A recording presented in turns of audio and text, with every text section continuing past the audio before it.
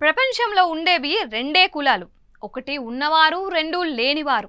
డబ్బున్నవాడికి లోకం దాసోహం అవుతుంది వారికి కావలసిన అన్ని సౌకర్యాలు వాళ్ళ కాళ్ళ దగ్గరకే వస్తాయి. అదే పేదవారి పరిస్థితి చూస్తే తినడానికి కూడా తిండి లేక ఉండడానికి ఇల్లు లేక నానా ఇబ్బందులు పడుతుంటారు.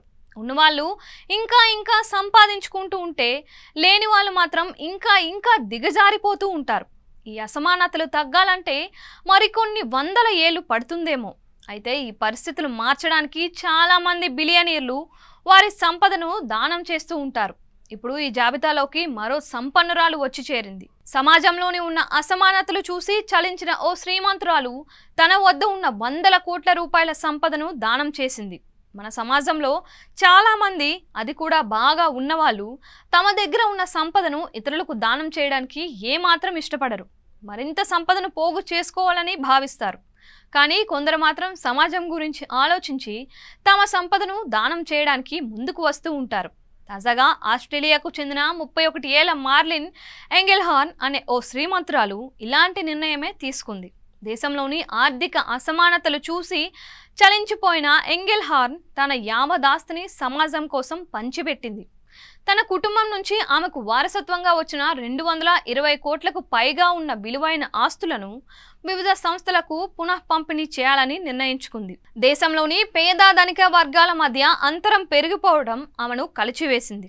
వాటిని తొలగించాలి అనే ఉద్దేశంతో తన దగ్గర ఉన్న సంపదను మొత్తం దానం చేయటానికి ముందుకు వచ్చింది.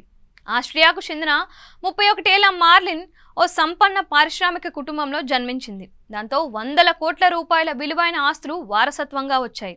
అయితే వాటిని ఆమె తన స్వప్రయోజనాల కోసం వాడుకోలేదు. తన కళ్ళ ముందు సమాజంలో ఉన్న ఆర్థిక అసమానతలను తొలగించడం కోసం తన యావదాస్తిని దానం చేసింది.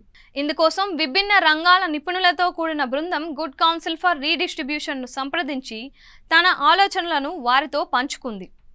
ఎంగెల్హాన్ ఆలోచనలు విన్న ఆ బృందం సంపద పంపిణీ మేరకు ప్రణాళికను రూపొందించి ఆమెకు అందజేశారు. ఇక ఎంగెల్హాన్ మొత్తం సంపదను దాదాపు డెబ్బై ఏడు సంస్థలకు పంచి పెట్టాలని నిపుణులు సూచించారు. ఈ జాబితాలో వాతావరణ మార్పులు విద్య ఆరోగ్యం లింగ సమానత్వం కోసం కృషి చేసే సంస్థలు మహిళలకు ఆశ్రయం కల్పించే కేంద్రాలు నిరాశ్రయాలు నడిపించే వార్తా పత్రికలు అగ్నిపాపక విభాగాలు ప్రజాస్వామ్య అనుకూల సంస్థలు ఉన్నాయి.